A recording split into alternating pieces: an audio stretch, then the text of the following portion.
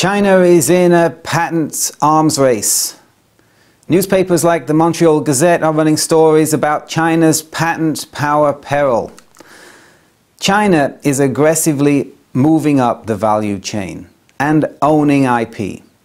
Chinese manufacturers have traditionally been building products designed, owned, and patented by others. But that will change in the coming years. The Chinese government has very deep pockets and they're financing patent prosecution.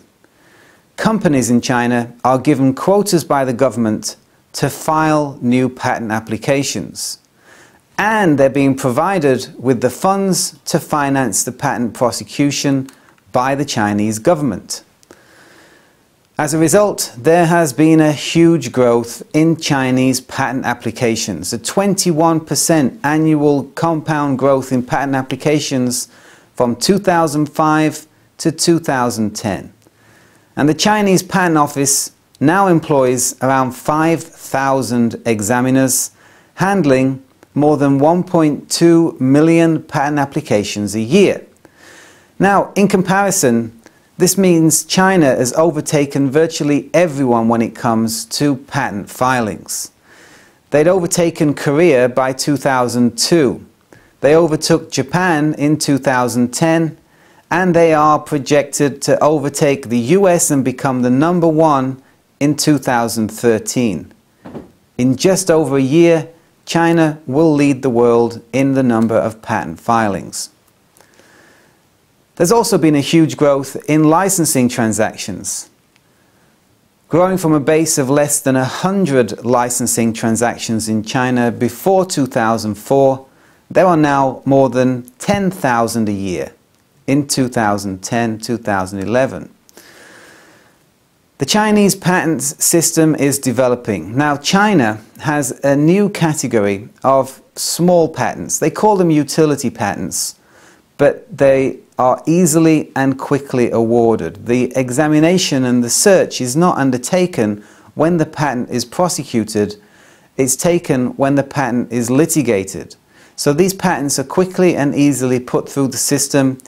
Now, we call them small patents because they only have a lifespan of 10 years, not the 20 year lifespan we expect from patents in the rest of the world. But there is a high percentage of success when litigating these patents. These small utility patents are strongly supported by the Chinese courts. A cover story article in the magazine uh, Managing Intellectual Property covered a study in global win rates that, that found that the majority of Chinese courts have 100% win rates when it comes to these small utility patents. 100% win rate.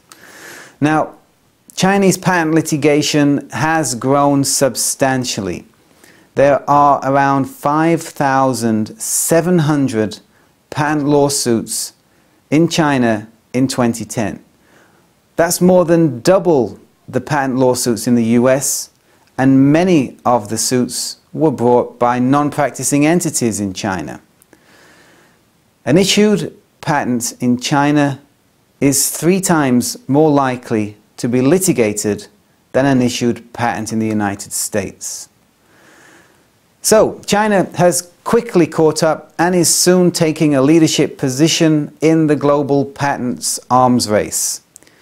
You can expect Chinese companies to become major players in the patent wars and Chinese patents to become serious weapons of litigation.